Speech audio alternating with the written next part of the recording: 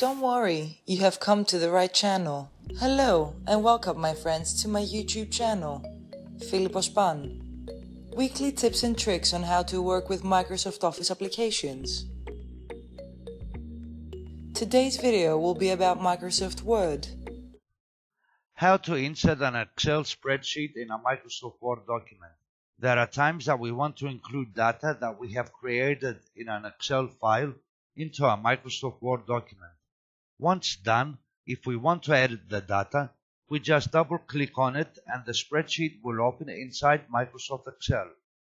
All the functions and features with Microsoft Excel will still be available for use.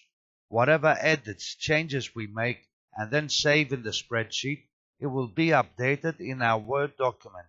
Stay tuned to learn how to insert an Excel spreadsheet in a Microsoft Word document.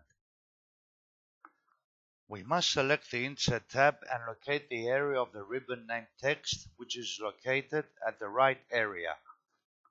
In the bottom right corner of the text area is located the command object and we are notified with the following. Insert an embedded object such as another Word document or an Excel chart. If we select the arrow at the right of the command, the drop-down menu will appear where we select the command object. Once selected, the object dialog box appears, which is separated into two tabs, Create New and the Create from File tab.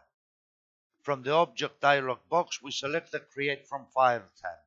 Then at the right of the file name text box, we select the Browse button.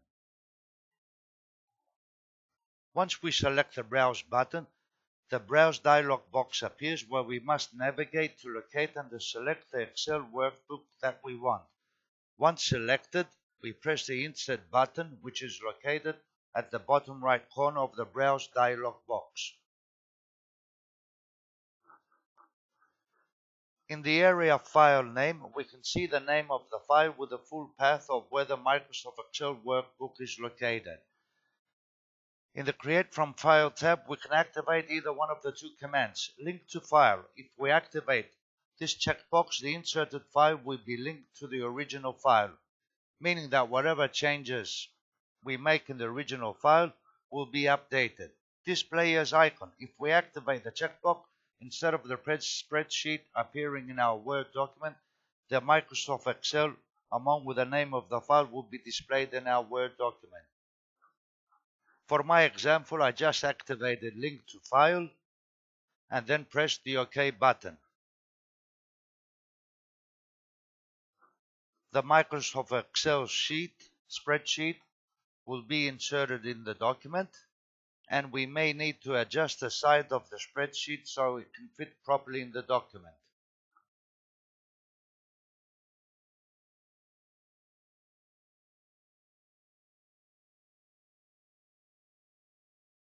If we double click on the spreadsheet, Microsoft Excel will start running with all the available tabs, commands and functions. Now, whatever changes we make in our spreadsheet in Microsoft Excel, once we press the Save button and close the application, whatever changes we have made will be updated in the Microsoft Word document. By using this feature, we can insert different sorts of files in our Microsoft Word document, files such as a PowerPoint presentation or another Microsoft Word document. We can link them to the file and even have them to be displayed as an icon in our document.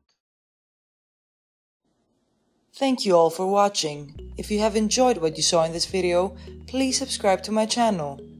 If you have any questions or suggestions, feel free and let me know by heading down to the comment section.